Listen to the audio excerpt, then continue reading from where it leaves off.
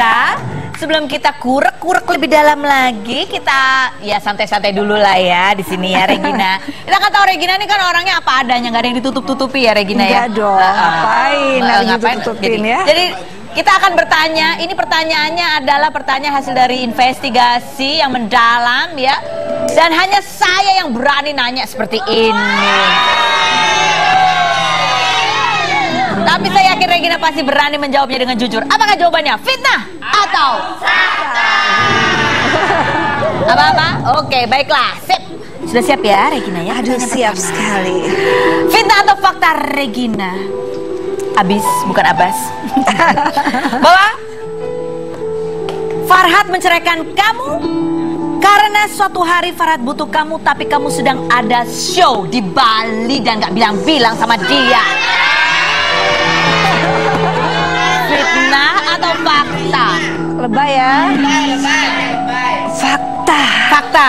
Kamu ke Bali nggak bilang-bilang sama dia? Bilang sebenarnya cuman yang satu kan agak lebay. Jadi Oh, kalau dia lagi butuh ngapain sih? nggak tahu butuh tati tayang kali Oh, ya. butuh tati tayang Oh, kali ya. Kenapa nggak dia nyusul aja ke Bali? Oh gitu gara-gara itu dia marah. Sepertinya begitu. Sepertinya begitu. Uh, uh. Oh bukan nggak minta izin ya? Kamu udah Bukan, bilang. Dia kan ya biasa kan kita berdua kan kembar dempet. Uh, uh. Ya kamu kabar depet kamu ke Bali kenapa Farah ditinggal? Ya kenapa tanya kan ada apa lagi ada apa sama dia kan? Oh dia nggak diajak nggak mau. Bukan ngajak kamu pengen nih biasa lah. Kalau laki-laki kan selalu pengen diperhatikan tapi suka sulit untuk dimengerti. Oh dia gitu ya? Hmm. Betah sih ya Mbak ya. Ya nggak betah makanya. Fitnah atau fakta Regina? Sering kali menghadapi sikap Farhad yang membingungkan seperti itu sehingga kamu sesungguhnya sudah kebal. Fitnah atau fakta? Fakta. Udah kebal ya. Udah kebal. Sikapnya kebal. yang paling paling eh, udah biasa banget tuh kayak apa sih contohnya misalnya? Ya begini-begini tuh. Ya. Yang senang-senang berkicau gitu Oh, kan. oh, senang berkicau. Ya. Kalau berantem dikit dibuka di Nah, itu Twitter. biasa itu. Uh, uh. Uh, uh, itu Jadi udah- ini, ini bukan berantem pertama kalinya Ah, ya? bukan. Jadi kalau bagi saya kan saya bilang setiap uh, dia marah ataupun apa pun itu kan punya karakter yang ekspres- Ekspresif. ya kan. Jadi bagi saya ya anggap aja ini kayak petasan cabe yang lagi dinyalain. Oh ini kayak petasan cabai lagi Hmm, dinyalain. dinyalain. Jadi barangkali sebentar lagi akan kempes juga itu Bisa petasan. jadi petasan. Oh, jadi kalau dia udah kempes balik lagi. Kayaknya kayaknya jangan begitu. Eh, masih pikir-pikir ya. Mungkin akan call a friend atau masih 50-50 kayaknya. Aduh, jangan deh. Fita atau fakta Regina bahwa kamu bercerai dari suami kamu yang dulu Ilal karena ingin menikah dengan Farhad Abbas. Fitnah. Fitnah.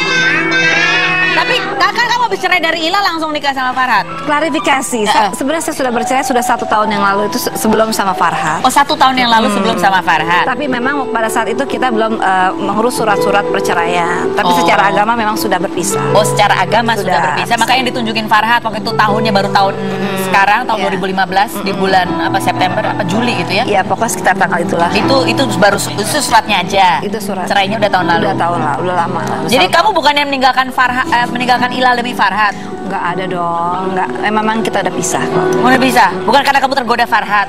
Mungkin dia tergoda saya kali ya. Oh, dia yang tergoda saya. kamu. Salah. Jangan rumpi. Ini acaranya rumpi, Mbak.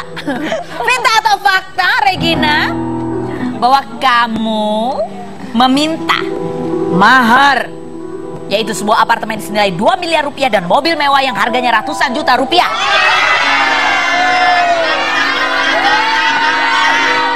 Fitnah atau fakta? Apa ya? Jawab nggak ya? Eh, Fakta juga nggak apa-apa. antara fitnah dan fakta ya. Antara fitnah dan... Tapi kan nggak apa-apa, minta mahar kan emang biasa toh. Biasa ya. Hmm, ya. Nggak minta sih sebenarnya ya. Dia yang mengasih. Ya, seperti itu deh. Dia. Tetapi ada nggak barangnya? Dikasih nggak? Kenapa? Di apartemen 2 miliar itu kejadian. Kalau- ya kalau kalau namanya mahar kan memang itu eh, apa namanya waj- apa syarat ya. Ah. ya. Kalau Dipenuhi nggak? Dipenuhi. Oh dipenuhi ada jadi apartemen 2 miliarnya itu. Kenapa? Mau tahu ya, Bu? Mau tahu, Bu. Mau tahu. Ada itu. Eh, Oh tahu lokasinya strategis nggak bu? Mau. Barangkali Didukung oleh berapa jalan utama? Boleh, mau disewain sama saya, Bu? Oh Tempat gitu. saya, Bu. Loh, jadi yang yang dikasih itu apartemen sama mobil. Kalau rumah yang di Bogor itu? Itu alhamdulillah itu rumah saya beli tahun 2007 sebelum saya menikah dengan Farhat dan Oh. sebelumnya juga. Memang rumah itu sudah ada. Oh gitu. Jadi bukan dibelikan oleh seorang Farhat Abbas. gitu. Oh bukan dibelikan yang itu. Tapi kalau direnovasi ada renovasi itu memang betul. Oh. Tapi memang rumah itu sudah ada sebelum saya menikah. Oh, tapi dia ridho ya ngasih maharnya ridho kan si Farhat. Ya ridho lah. Oh, oke, baik. Kira Ya ridho lah hari gini. Oh ada VT-nya. Oh oh kita lihat kita lihat. Ini kan dia bilang kan katanya menikahnya siri apa ternyata ada tayangannya begitu. Kita ada ada buktinya bahwa memang pernikahan itu eh, di- dilakukan dengan niat yang betul-betul. Begitu ya kita lihat bersama. Ini dia. Bismillahirrahmanirrahim ya saudara Muhammad Farhan Abbas bin Dr. Lestari Abbas Rahim saya nikahkan dan saya akan kenal dengan Ragina Andi, Ragina Andiani Saputi. Bin Sentot dengan walinya wali hati itu saya sendiri dengan mas kawin satu buah mobil Alphard Alphard Alphard Alphard dan satu apa pun dibayar tunai. Saya terima nikahnya Regina Denisa Putri Vicentot dengan mas kawin satu buah pada satu buah pada saya 17 16 nilainya tunai dari mana Insya Allah insya Allah Alphard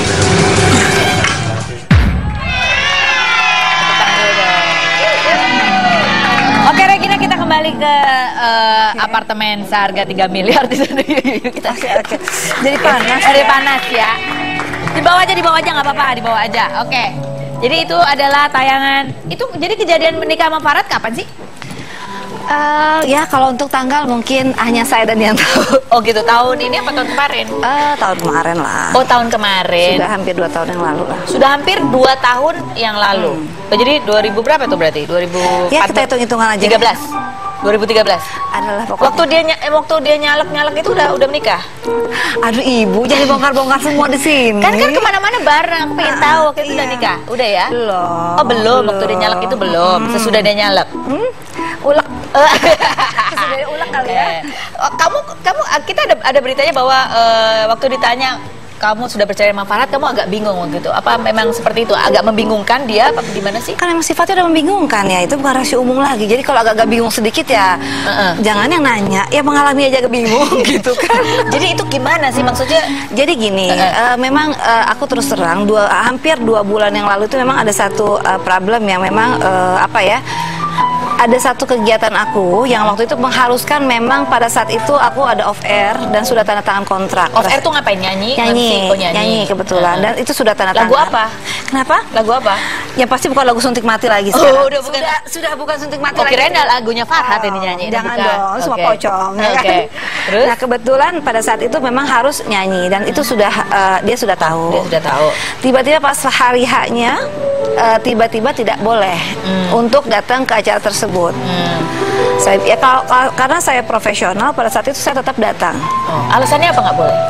Ya nggak boleh aja Oh. gitu. Pokoknya intinya nggak boleh tanpa alasan yang jelas gitu kan. Pada saat itu karena saya sudah tanda tangan, saya tetap ambil eh, job itu. Nah tiba-tiba pas saya datang ke itu tempat, eh padahal saya udah tahu saya datang dengan as- asisten saya, dia tahu saya dengan siapa. Tiba-tiba dia panggil eh, media dan eh, ya seperti biasa lah. Saya sudah bercerai begini-begini. Ya bagi saya ya karena ya, sifat dan eh, karakternya memang seperti itu ya. Jadi memang senang melakukan manuver-manuver eh, agar mungkin saya eh, Ngambek gitu kesannya, tanda gitu kutip. kan. Ya saya pikir ya udahlah. Saya pikir karena ini kan bukan pertama kali. Dulu waktu waktu dia marah sama, oh, oh, bukan pertama kali. Iya, karena dulu kan pernah sempat juga di Twitter kan, Iya. istri saya gila gitu kan, dan Uh-uh. terus Regina nggak waras katanya Uh-uh. gitu.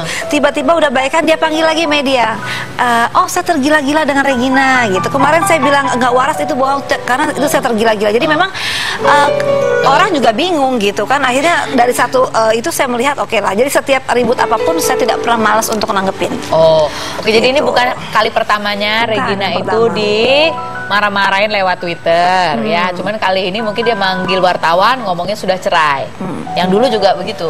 Kalau yang dulu ya mungkin eh, ya sebatas mungkin di Twitter segala macam dan lainnya. Jadi ya. kalau dia baikkan lagi, ada kemungkinan kamu balik lagi sama dia. Tunggu, ini kayaknya kita pikirin agak panjang so kalau Oh sekarang gitu. ya. Kalau sekarang agak panjang ya? Agak panjang perpikirannya kayaknya. Oke, jadi apa yang membuat kamu waktu itu udah dibilang kamu Regina begini-begini masih mau balik? Ah, enggak, karena pada saat itu namanya orang berumah tangga kan pasti ingin mempertahankan, Oh. ya kan. Pada saat itu kan mungkin eh, biasa namanya laki-laki, ya kan.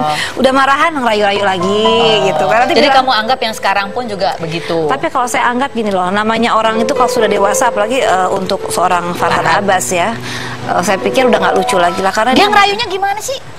Biasalah pakai caranya. Dikasih apa? Pasti ngasih barang gitu, hadiah gitu. Hah? Kalau hadiah, kalau hadiah udah basi, udah nggak lagi. Nanti kalau dikasih besok-besok ngomong lagi sama media. Besok Regina dikasih ini itu ini itu gitu, bingung deh. Jadi jadinya. gimana dia ngerayunya? Ya sekarang mungkin ngerayunya caranya lain, manuvernya kali ya. Gimana? Oh. Uh, uh, mengupload gitu kan, Foto. mempermalukan supaya mungkin uh, sayanya agak-agak gimana. Tapi Itu cara dia ngerayu. ngerayunya aneh. kan? Ngerayunya dengan cara mempermalukan. Aneh makanya begitu. Tapi kamu tahu dia lagi ngerayu. saya tahu dia agak-agak, aduh saya mau komentar itu deh makanya, nah, makanya sedikit agak berbeda yang satu ini. Makanya Kamu saya hebat pikir, juga bisa tahu dia ya. Nah Ya. makanya sekarang saya udah capek juga untuk tahu terus kan, makanya Oke. sekarang udah nggak mau tahu aja deh gitu kan. Oke. Nah ini kamu sempat marah nggak sih tahu bahwa WhatsApp kamu gitu ya dibongkar sama Farhan? Eh, saya klarifikasi satu lagi Mm, itu. mengenai WhatsApp ya itu pembicaraan saya nggak perlu bicarakan di sini deh. Ada hal-hal di situ yang memang betul itu adalah WhatsApp saya. Tapi ada juga yang memang itu bukan tulisan saya. Oh, jadi Nah, ceritanya? Ya saya nggak tahu ya, nggak tahu artinya maksudnya apa untuk supaya opininya seperti gimana saya nggak ngerti. Makanya untuk itu ada beberapa yang makanya saya merasa keberatan di situ karena memang itu bukan eh, percakapan pribadi antara saya dan dia. Jadi ada yang memang benar, ada yang enggak. Ada yang benar dan tapi ada yang bukan gitu. Oh, gitu. Nah, makanya di- makanya terus terang di situlah saya eh, menunjukkan keberatan saya karena memang ada beberapa hal yang memang Makanya akhirnya dia disuspend tuh Twitternya. itu tanya sama Twitter ya. Oh, Bu. tanya sama Twitter. Oke. Ini ada Farhat Abbas bongkar amukan Regina. Kalau yang ini punya kamu atau bukan Ya ini? ini betul nih aku. Oh, kalau ini benar. Ya ini aku betul. Oke, baiklah. Ini tulisannya sudah jatuh tertimpa tangga. Mungkin ungkapan itu tengah dirasakan oleh Farhat Abbas yang sudah menjadi tahanan kota karena kasus dugaan pencemaran nama baik dengan. Ini kita mau tanya sebagai seorang istri kan kamu sempat ya nggak tahu deh. Ini masih istri apa nggak sih? Aduh status palsu kali ya. Satu. Bagaimana perasaan kamu memiliki suami yang banyak dimusuhi oleh orang-orang? Setelah yang satu ini kita akan bahas, jangan ke mana-mana, tetap di Rumpi.